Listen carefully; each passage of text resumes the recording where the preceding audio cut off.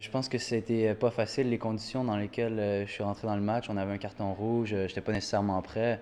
Le coach m'avait dit probablement que je rentrerais, mais peut-être pas aussitôt que, que, ça dans le match.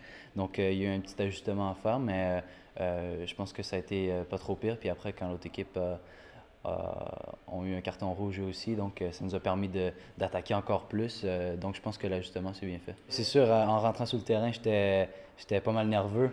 Euh, on avait de la, pression. Euh, euh, on était un joueur de moins, donc c'est sûr qu'on allait subir un peu plus. mais je pense qu'on a, bien répondu. Bon, peut-être sur le but, une petite erreur. Je pense que moi, j'étais un peu bas personnellement sur le terrain. C'est peut-être c'est peut-être de ma faute un peu. Mais je pense qu'après, on a travaillé fort pour essayer de revenir dans le match.